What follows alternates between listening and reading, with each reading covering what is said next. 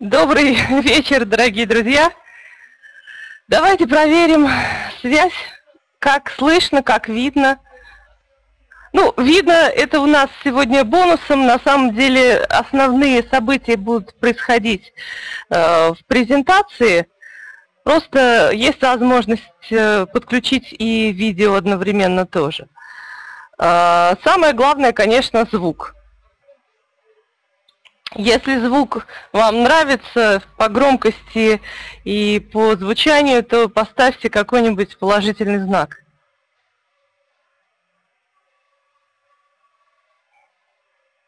Угу.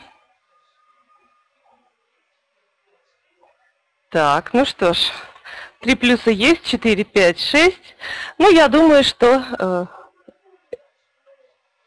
что все отлично. Хорошо. Напомню вам, что для наилучшего качества звучания и э, видеоформата и всего нужно закрыть все посторонние окошки, чтобы у вас браузер был свободный и, собственно, ему легко было так, запись, да, я думаю, что для участников будет обязательно запись. Вот, для, как сказать, всей остальной аудитории гарантировать не могу, но для вас обязательно, для всех тех, кто заранее регистрировался и объявлял свое участие. Так что Наталья читала уже, да, ваши, э, как сказать, сообщения по поводу того, что вы сейчас в пути. Я думаю, что это все поправимо. И у нас есть э, те, кто на даче находится, это я тоже знаю. Так что вот совершенно мы, скажем, встретились здесь э, в онлайн-формате совершенно из разных мест. Итак, э, ну что ж, тема у нас сегодня уже обозначена – ошибки в использовании цвета. У меня для вас готова презентация с 50 слайдами, в которой, собственно, эту тему моя задача сегодня вам раскрыть. Но я предлагаю, скажем так, работать в диалоге, то есть у меня будут вопросы, и э, было бы, знаете, скучно просто вам излагать материал и, в общем-то, не тренировать вашу наблюдательность и ваши способности. Поэтому мы построим работу следующим образом. Сначала я показываю вам э, какие-то картинки, э, спрашиваю, что, что здесь не так, и даю вам возможность самостоятельно определить, в чем заключается в данном э, конкретном образе или в нескольких образах какая-то ошибка, ну, если она там есть. Вот. Э, после этого, конечно же, комментарии, красочная информация на эту тему. Хорошо? То есть э, готовьтесь отвечать, это будет полезно и вам.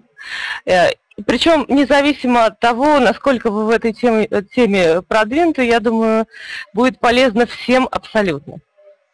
Ну, э, вместо э, традиционного слайда, на котором я обычно пишу программу на втором слайде, тут я всего лишь обозначила нашу сегодняшнюю тему, потому что описать программу – это фактически выдать вам все те ошибки, которые, э, по идее, вы должны будете определить сами. Поэтому все готово, начинаем. И э, начнем со следующего слайда. Значит, здесь вы видите два по-своему очаровательных образа. Э, но если говорить о цвете, то э, все ли здесь так? Э, немножко, скажем так, общих моментов скажем. Э, конечно, подиум отличается от реальной жизни. Почему? Потому что на подиуме модель призвана быть фоном для одежды. То есть в реальной жизни мы стремимся к тому, чтобы одежда нас э, поддерживала и была скорее оформлением для нашей личности, нежели э, основной идеей. А здесь, конечно, есть такой нюанс. Э, ну, если есть у вас версии, что здесь не так, то, пожалуйста, Прошу вас, делитесь, пишите в чате, и, конечно же, через пару минут я вам открою следующий слайд, мы разберемся, что здесь не так. Посмотрите внимательно а, на то, насколько цветовая гамма действительно соответствует. Ну, в общем, молчу-молчу, а то сейчас я вам сама все расскажу. Ну вот, даю вам буквально пару минут для того, чтобы попробовать сформулировать, что не так здесь с использованием цвета. И, собственно, что страдает в данном случае? Цветотип. Вот так, тепло и, в общем-то, возможно, даже горячо. Еще есть, если версии. Будем рады увидеть. Так. Ждем. Я знаю, что есть некая задержка, потому что пока вы печатаете, пока сообщение приходит, то есть есть вот такой момент, э, как сказать, времени. Для кого-то, может быть, сложно будет сформулировать, но вот у нас э, одна версия благодаря Оксане уже есть. Если никто не хочет э, добавить, то я Ага, как-то скучно, уныло выглядит. Вот. То есть Катюша, собственно, продолжает предыдущую тему. Она говорит о том результате, который у нас действительно бледный, контраста нет. Хорошо, вот давайте, давайте просыпаться и вспоминать много интересных, умных э, акцент к лицу. Так, нужен, так, бледная первая девушка. Ну, в общем, я думаю, что объективно все заметили не, э, не свежесть лица и первый, и второй. И то, что и в первом случае, и во втором причиной этому цвет, это действительно так. И, собственно, э, раскрываю следующий слайд, результат, который мы увидели, а сейчас мы озвучим уже причину, это эффект несвежего, нездорового лица. Почему же так происходит? Э, это, будем считать, действительно ошибка номер один, и э, благодаря да, цвет одежды не соответствует. Да, да, да. В общем-то, вы разными словами все сказали об одном и том же об одном и том же. Неверный выбор цветового решения образа. То есть э, в данном случае, если говорить оксайным, э, как сказать, оксайной фразой, действительно одежда не соответствует цветовому колориту, природному колориту девушки. Если мы вспомним о том, что у нас есть природная, уже заложенная определенная гармония в нашем образе, то есть те оттенки и цвета, которые действительно нас украшают. Что значит украшают? Это э, возможность сделать свой цвет лица наиболее свежим, вид наиболее здоровым и привлекательным. Если же я вернусь чуть, э, еще чуть раньше, чтобы вы вспомнили, как это выглядит, если же мы э, видим подобный эффект с нашим лицом, это серьезный сигнал о том, что одежда, которую мы используем, не соответствует по цветовому колориту. И сейчас я вам покажу те варианты, которые бы для каждой из этих девушек подходили бы в большей степени, и именно благодаря вот такому звучанию цвета они бы приобрели э, на и лучшее э, проявление. То есть вот в данном случае мое предложение выглядит так. Это, конечно, далеко не все варианты, их очень много будет, но в данном случае э, цветовое решение будет для каждой из них наиболее верное, и цветовая гамма будет соответствующей. То есть это первое и, пожалуй, самое главное, потому что если э, выбор цветового э, решения образа не соответствует цветовой палитре, мы видим просто усталые, унылые, как вы правильно описывали, бледные. Э, нет, в общем, э, как сказать, версий может быть много, может быть ощущение нездорового цвета лица, скучно, уныло, но все это всего лишь результат неверного выбора цвета. Едем дальше. Разминочка э, прошла у нас успешно. Сейчас очень полезно будет э, всем э, кому-то познакомиться, а кому-то повторить и вспомнить, э, как будут отличаться оттенки разных колоритов э, в случае, э, когда мы говорим об одном и том же цвете.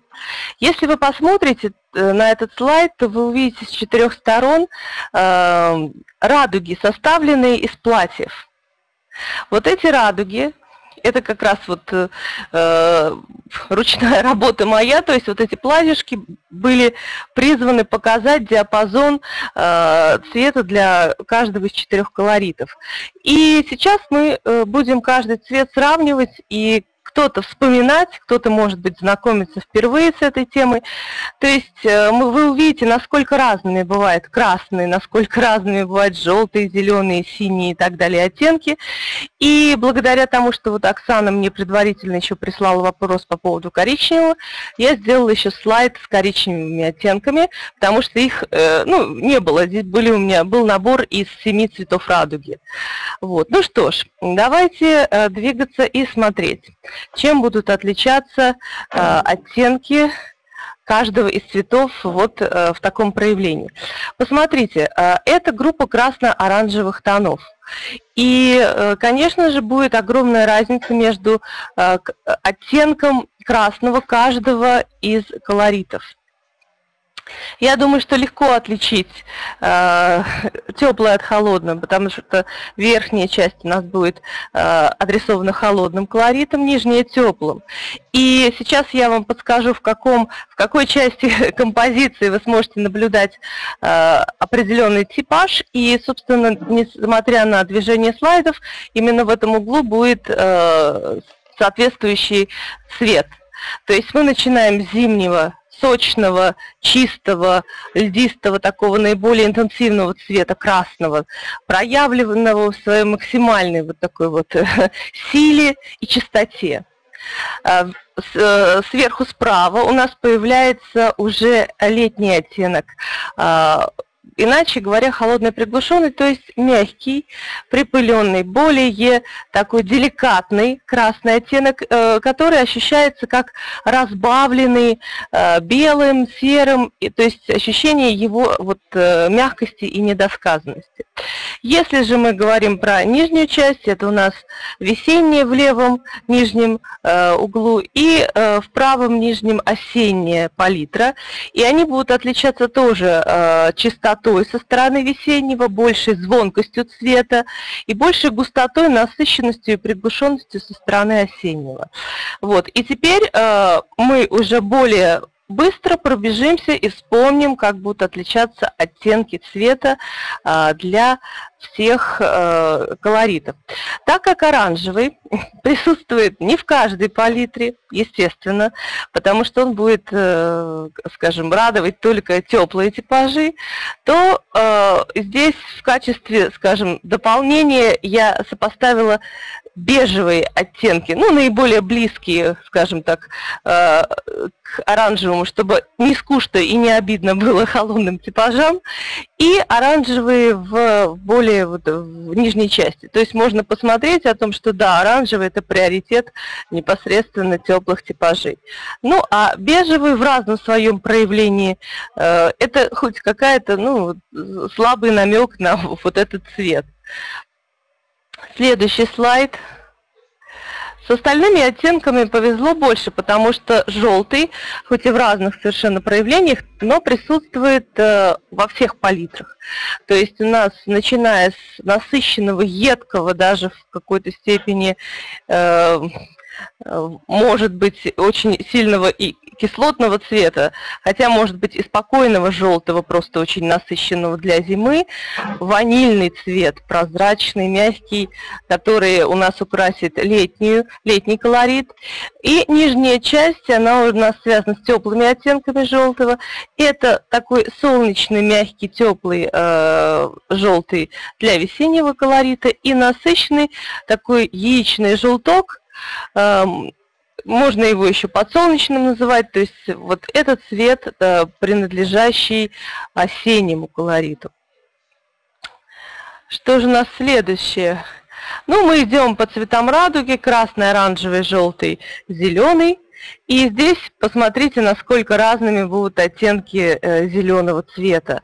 Начиная от холодного, достаточно э, в большей степени содержащего в себе и синеватые отблески, э, зимний вариант, э, про, ну, прозрачный, более мягкий, практически бирюзовый оттенок ближе э, у нас будет летнему колориту и э, зеленые разнообразного звучания, но теплый, травянистый и болотный, это будет соответствие э, для теплых колоритов весны и осени.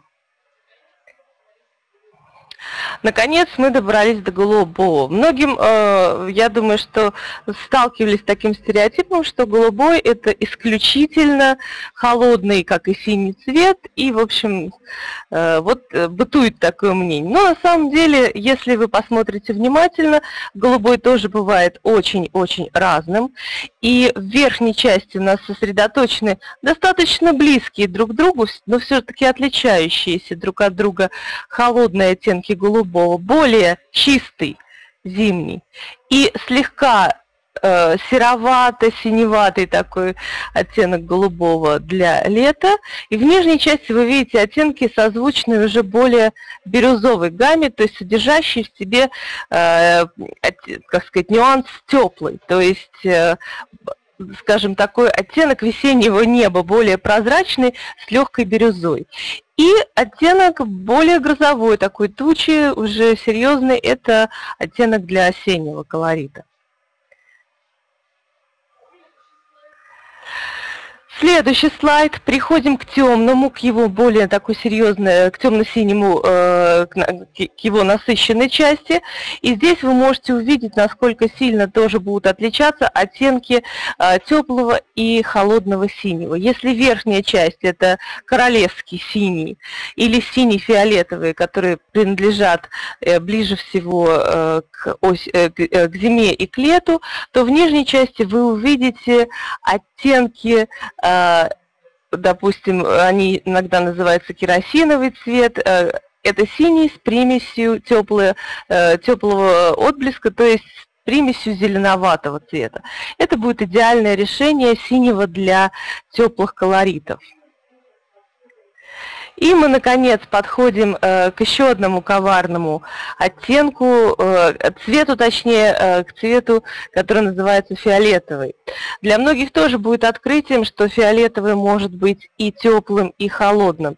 В верхней части традиционно у нас показаны холодные оттенки, и вы видите, что в, этом, в этих фиолетовых синевы больше.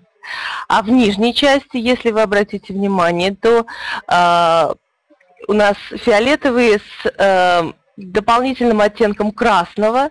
И, естественно, относительно верхнего фиолетового этот фиолетовый будет считаться более теплым. Соответственно, с ним будут сочетаться и более теплые оттенки остальной гаммы весны и лета. Ой, весны и осени, прошу прощения, двух теплых колоритов. И теперь как раз можно поговорить о коричневом который есть в каждой палитре, но он очень разный для всех. Конечно же, первый признак – это теплота и холод, потому что в верхней части у нас собраны оттенки коричневого, более э, либо с примесью серого, либо с примесью э, розового, как у, допустим, летнего колорита. Оттенки эти будут считаться холодными. Это либо горький шоколад у зимы, либо э, оттенок какао для лета. В нижней части коричневый приобретает более рыжеватые и ржавые оттенки. Соответственно, для весны и осени подобным, э, э, как сказать, звучанием будет вот такой ржаво-коричневый и темно-рыжий-коричневый. Разница достаточно очевидна, и вы видите даже по тем деталям, с которыми мы сочетаем а основное платье, то есть они подобраны уже непосредственно в той же палитре, которой принадлежит оттенок коричневого.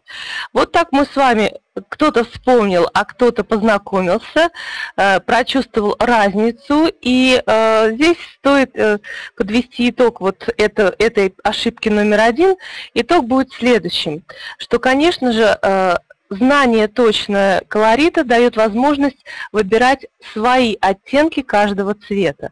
То есть именно те оттенки, которые будут максимально вас делать э, свежий, привлекательный, сияющий, э, и цвет лица, собственно, будет ваш, э, радовать вас. Ну, давайте смотреть, что у нас заготовлено следующее. Ошибка номер два. Что здесь не так? Так что теперь включайтесь активно, присоединяйтесь к, э, к процессу и жду ваших версий, что не так э, в, в данных образах, в данных цветовых решениях для э, непосредственно этих моделей.